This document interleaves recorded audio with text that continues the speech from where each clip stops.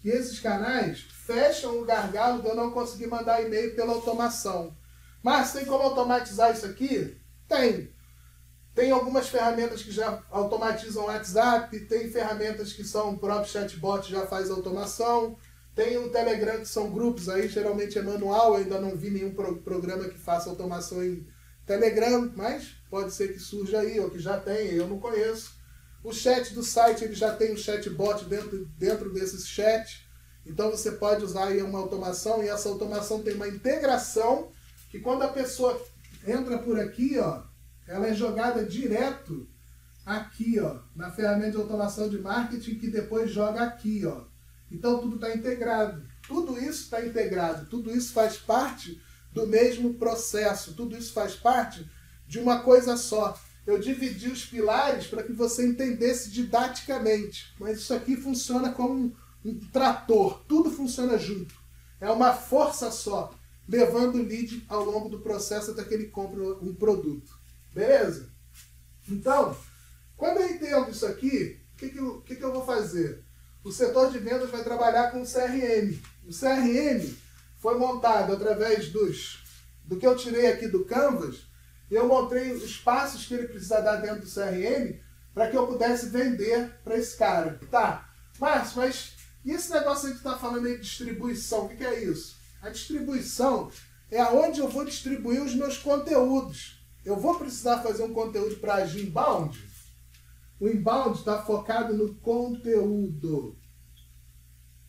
Por que, que ele está focado no conteúdo? Porque é o conteúdo é que vai atrair as pessoas e elas vão entrar aqui, nessa etapa aqui, para comprar um produto. Então eu vou atrair pessoas através do conteúdo que vão entrar aqui no meu processo depois eu vou passar elas por dentro do meu processo usando essas estratégias. Depois eu vou usar essas ferramentas para poder tratar essas pessoas. E como que eu vou distribuir meu conteúdo? Aqui. Aqui é onde eu vou distribuir o conteúdo. Então eu vou botar meu conteúdo nas redes sociais. Quando eu fizer uma postagem, eu vou botar meu conteúdo no meu blog, eu vou distribuir meu conteúdo no meu site. E tem outras formas de você distribuir teu conteúdo, mas é para que você entenda como que isso daqui vai funcionar. A distribuição é eu poder pegar todos esses conteúdos que eu vou criar e colocar ele para as pessoas verem, para que eu possa atrair essas pessoas, converter essas pessoas, usando uma das duas estratégias, depois usando as ferramentas e a distribuição é que vai fazendo que isso tudo aconteça. Existe aqui, na parte de conteúdo, de distribuição, eu posso ter uma distribuição orgânica e eu posso ter uma distribuição paga. Então, quando eu tenho uma distribuição orgânica, o que, que eu faço? Eu vou lá na minha rede social e posto lá um, um e-book. Quem vai ver esse e-book? As pessoas que estão conectadas comigo, as pessoas que estão ali na minha rede social, que me seguem, que têm engajamento comigo. Mas, mas quem não é da tua rede social? Quem não te segue? Aí eu vou lá e pago. Eu pago para que tenha uma distribuição, para que mostre meu conteúdo, para as pessoas converterem, virarem lead, passarem no processo da jornada de compra usando a estratégia de inbound e eu levo essas pessoas até o setor de vendas para vender para essas pessoas. Isso daqui que eu estou falando são os pilares que a gente tem para criar uma transformação digital. Mas em cada uma dessas etapas aqui, eu tenho uma função diferente. E cada uma dessas etapas eu preciso entender como que o lead vai passar dentro desse processo. Quais as ferramentas que eu vou usar, quais são, são as estratégias que eu vou usar, como que eu vou distribuir? Como que eu vou usar os processos para entender isso? Quais pessoas que eu quero vender? Eu vou definir aqui nas pessoas a persona. Essa persona está dentro do que a gente chama de perfil de cliente ideal, ICP, que está dentro do público-alvo que é uma coisa mais ampla. O público-alvo é mais amplo. A persona ela é mais restrita. Então, lá no meu site também está explicando lá o que é persona, qual a diferença de persona para público-alvo. Se quiser, entra lá no meu canal do YouTube, também tem isso lá. Então, assim, o que eu queria explicar para vocês que a gente tem os pilares que vão montar toda a estrutura para que a gente faça uma transformação digital. Agora, em cima de cada uma dessas etapas, tem um desdobramento de várias coisas que você tem que fazer. Na parte paga, como é que eu vou usar a parte paga para distribuir? Eu posso usar o Facebook, Ads, eu posso usar o Google, Ads, eu posso usar o Tabula ou Outbrain.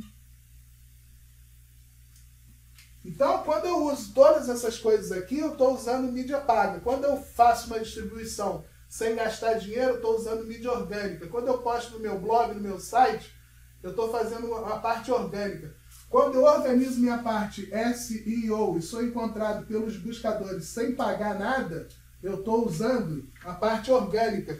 Quando eu pago para o Google, para ele, ah, nos resultados de pesquisa, mostrar quando uma pessoa busca por uma palavra, eu estou usando a mídia paga. Então, assim, em cada uma dessas etapas dos pilares que a gente tem, a gente tem um, alguma coisa para poder acrescentar no, no nosso processo, para que a gente melhore a forma que a gente entende como o lead passa no processo. Depois disso, a gente vai ver as taxas de conversão, vai entender quais são as taxas de conversão que ele passou dentro desse processo, e depois disso, a gente medindo as taxas de conversão, a gente tem uma previsibilidade de quantas pessoas a gente precisa botar de um lado para chegar no outro lado um comprador.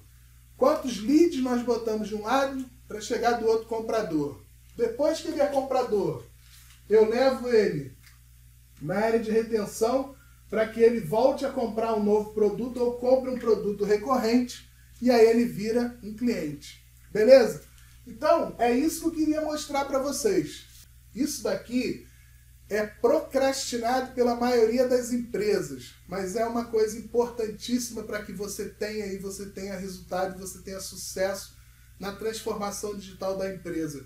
Porque se você não sabe quais são as regras do jogo, como que você vai jogar? Você imagina um futebol que não tivesse regra, ia virar um, um jogo de rugby, todo mundo batendo em todo mundo. Mas até o jogo de rugby tem regra, porque não é bater só nas pessoas e pegar a bola ali e sair correndo igual um maluco, trombando num e no outro, não sei o quê. Tem regra. Lá no jogo de rugby tem regra. Mesmo que seja um jogo violento de contato, não sei o quê, tem regra. Então, assim, todo jogo tem regra. Isso daqui é o que vai fazer você entender qual é a regra do jogo. Como é que eu vou montar o jogo da minha empresa? Como é que eu vou ganhar esse campeonato? Como é que eu vou ganhar esse jogo? Você só vai ganhar o jogo assim, ó quando você tem as regras, você sabe quais são as regras que você tem que seguir, e você seguindo essas regras, você vai chegar lá no final sabendo o que você tem que fazer. Vendendo um produto para uma pessoa que chegou no teu processo através de um simples interesse em um e-book, por exemplo. Então, a coisa não é só inbound, outbound, é, WhatsApp, sei lá o quê. Cara, não é só hack. Hack, todo mundo vai querer te dar um hack. Você vai aprender o hack hoje, vai funcionar dois, três dias, mas se você não tiver entendimento do global, se você não tiver entendimento de uma metodologia de como fazer isso, a tua empresa nunca vai crescer como tem que crescer. A empresa só cresce quando você tem uma metodologia, quando você entende como que você vai escalar isso. Porque depois que eu entendi as taxas de conversão, eu volto numa conta reversa e, e estabeleço a minha meta. Quando eu estabeleci minha meta, se as, as taxas de conversão se mantiverem, eu tenho uma previsibilidade de quantas pessoas eu tenho que botar no começo do meu processo para chegar no final do meu processo com, tanto, com o número X de leads, que é a minha meta que eu quero bater. E aí você não vai fazer uma meta do achismo, você vai fazer uma meta de, de acordo com as taxas de conversão que você já tem, daquelas personas que você traçou. Então, assim, quando você começa a pensar dessa forma, você começa a ter inteligência comercial. Quando você tem inteligência comercial, você começa a ser melhor no que você faz. E isso vai te ajudar a transformar a tua empresa numa empresa que trabalha no digital com perfeição, com habilidade, sabendo onde cada um entra no jogo, cada um faz o que tem que ser feito. Beleza? Então eu queria agradecer muito a presença de vocês. Eu sei que sexta-feira é um dia difícil, mas eu quero pessoas aqui que tenham interesse em vir aqui sexta-feira aprender sobre isso. Porque são essas pessoas que eu quero aqui do meu lado. São pessoas que estão compromissadas, são pessoas que têm compromisso, que querem melhorar a vida delas. Essas pessoas que eu estou buscando. Beleza? Você falou com o Márcio Canto, eu sou o CEO da Silício Publicidade. Foi um prazer passar esses momentos com vocês aqui hoje de sexta-feira. Espero que esteja saindo bem o som aí. Se não saiu, me desculpe, mas eu vou pegar isso tudo que eu gravei aqui, vou refazer e vou depois postar para vocês. Isso vai fazer parte da minha parte de pilares do meu site, siliciopublicidade.com.br e na parte de pilares, dentro da, da parte de metodologia, você vai ter esse vídeo que eu fiz aqui hoje. Para isso, eu fiz esse vídeo hoje para colocar no meu site. Eu vou dividir ele em três aulas de 10 minutos e pouco e vou colocar lá então você vai ter acesso a isso mais para frente se você não conseguiu ver hoje. Mas para quem assistiu aí, muito obrigado. Desculpa não poder falar com vocês. Um abraço, tudo de bom, boa sexta-feira, bom final de semana. Sucesso!